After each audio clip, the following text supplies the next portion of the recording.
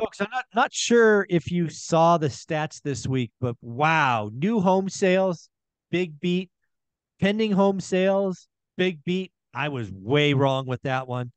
And uh, more importantly, we're seeing more and more investors get deals done. We saw National Association of Realtors report that investor uh, transactions were up 3% uh, over last month. So uh, people are figuring it out. People, like Redfin said, buyers have the power.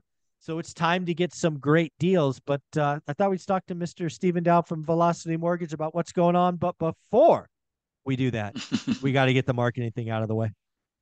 Yes, sir. Again, although I work very happily for Velocity Mortgage Capital, all the ideas and topics discussed on this channel that of my own. So let's do another one.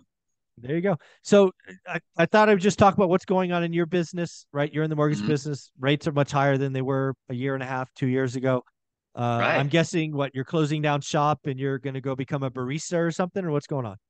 Uh, yes, actually, that's why I wanted to shoot this last video to let you know that today will be my last day. Uh, we are. he's no, kidding. No, no, he's kidding. He's kidding. I'm kidding. I'm kidding. No, no, no. We're we're actually stronger than ever. Um, I'm still seeing a, a good amount of business. Um, with rates going up, it doesn't really impact our ability to qualify, you know, loans or borrowers because we're not looking at that same metric. So really for us, it's just if the borrower can, you know, take the payment. Um, and we, you know, our rates creeped up just a little bit, but just fairly recently. But you know, prior to that, when everybody else's rates were going up, we were the same. We were right. just kind of ahead of the her, you know, uh, ahead of the curve, maybe two months ago or so, where right. everyone was like, "Oh my god, you're so high." We were like, "No, not now. Look at us now. We're awesome yeah. now." Um, yeah, yeah. but yeah, but no, no, we're we're definitely seeing a lot of business. I think it's a combination of different things, Mike. I think you touched upon certain things. Buyers have the power now to some extent, you know, to be able to make certain, you know, low ball offers. Uh, yeah. Uh, you're definitely seeing, you know, desperate or motivated sellers because there's a lot of price drops. Um, you know, I had somebody try to, you know, uh, uh, uh request for cash out on a property in the um, Tacoma area, and it was a, uh, you know, a lakefront property bought it for I think like a million in, in I want to say early October of last year. Did some rehab. I don't know how much. I didn't see the before and after pictures, but put it back on the market in January for 2.75. Oh my goodness. Yeah. Yeah. And has been steadily dropping it and is now at 1.795. That's a million dollar haircut right there. That that yeah, folks would be yeah. a motivated seller.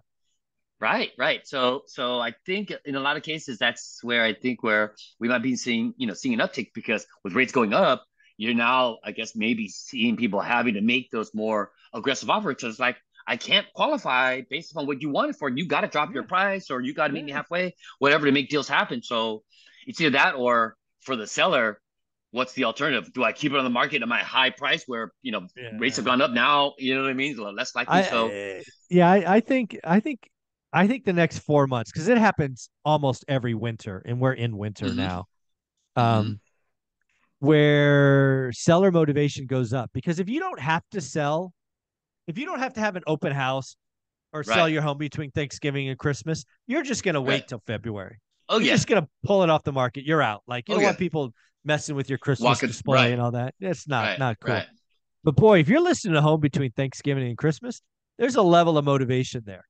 Oh and, yeah, uh, you just want to get it done with. Like you said, you don't want you know people looking yeah. at your house when when you're trying to make you know dinner and, and everything yeah. else. And so, yeah, it, it, it's a different situation. But um, I think during this time, um, I think with just how everything's going on, and and, and it's a, it's just an interesting time because, like you said, we, are there is a definite increase in in uh, home sales, and so yeah, wow, that was just uh, yeah, that was interesting pretty wild, right? But at the end of the day, um, there's still a lot of capital sloshing around the system.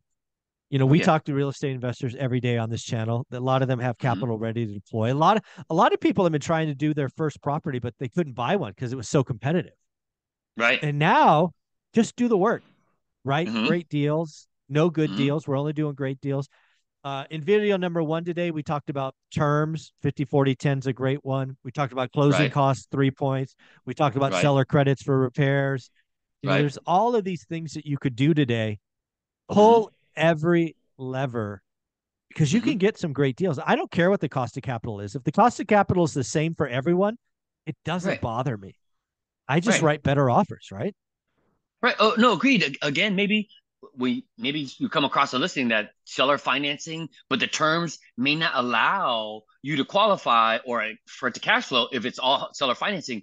Maybe do a combination with you know our loan and the seller, but them in the second position, but maybe negotiate better terms with the seller on the second. Yeah, they get so some cash, does now. cash flow. Yeah. Right. So there's a lot of different things to where okay, maybe it was presented in one way, but if you come at them if you know from a different angle and it's a, of a benefit to them to do so, and it works out for you as well too. So it'll cash flow. It it's a win-win. It's just finding those right situations, running the numbers, and then doing the work. But when you do the work, yeah, I've seen it. I've done tons of deals for one rental time. You know, uh, uh, uh, channel members where when they've done the work, it's a beautiful yeah. thing. Yeah, yeah, it's so there's there's more power today. The buyer, like Redfin said, the buyer has all the power today. So, folks, if you have the power, use it. And again, I want to be clear it takes work, it takes consistency, it takes follow mm-hmm. up, right? Mm-hmm. Nobody, I don't remember a time where a seller accepted my first crazy offer, but maybe the nope. third or the fourth time I followed up, we start having a meaningful conversation.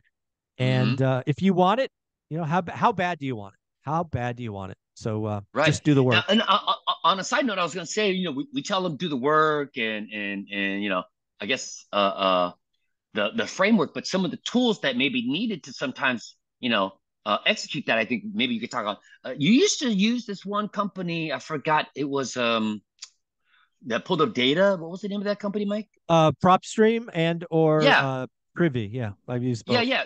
So, so, as far as like maybe you know, kind of getting some backstory to to oh, the yeah. situation before you approach, like then you know the financing, oh, yeah. you know, term. Maybe you could utilize that to motivate them. You know what I mean? Like, hey, oh yeah, PropStream is your loan's awesome. about to, you know, uh, uh, uh, uh, mature pretty soon, whatnot. Maybe if we do it this way, and then you can just figure out some, you know, kind of different angles to it. So I think that might be a way, or start mm-hmm. to look up yeah, other properties on, uh, for commercial properties even that yeah. loans are going to be maturing. Maybe you can come in and buy it, or or maybe make you know different types yeah. of offers. So there's just different angles, but nevertheless, if you need to reach me, sdao at velocitymortgage.com. Would love to talk to you about these different scenarios. Try to come up with something creative uh, and see if we can, uh, you know, uh, help out your financing needs. So again, otherwise, go. have a great weekend. Thanks for having me, Mike.